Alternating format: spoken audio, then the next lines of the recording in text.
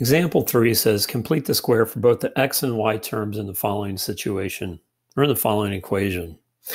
Situation, equation, same thing.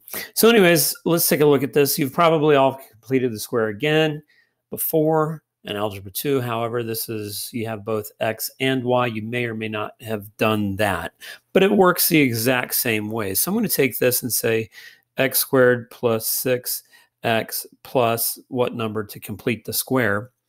Now over here I have a 2 in front of my y, and I got to get my coefficient of y squared to be 1. So I'm going to factor out a 2, and when I factor that out, I'm going to have y squared plus 8y. And then I'll go ahead and put in what I need to put in there to complete the square.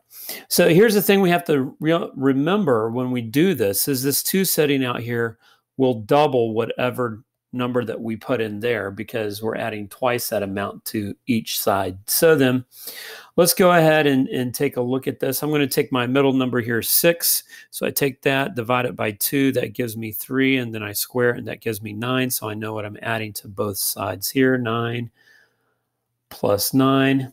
And then on the other one, I have an 8. So I'm going to say 4 divided by 2 is equal to 2. I square that and I get, I did that wrong. It's not 4, it's 8. I'm getting ahead of myself.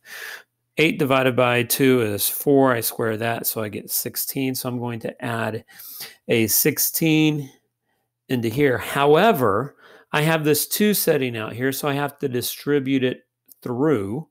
So 2 times 16 is 32. So I'm really adding 32 to this side. So I have to put a plus 32 over to this side.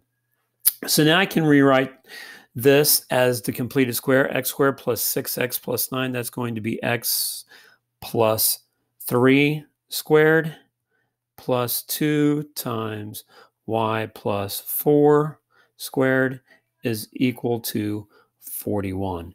And there I have completed my square.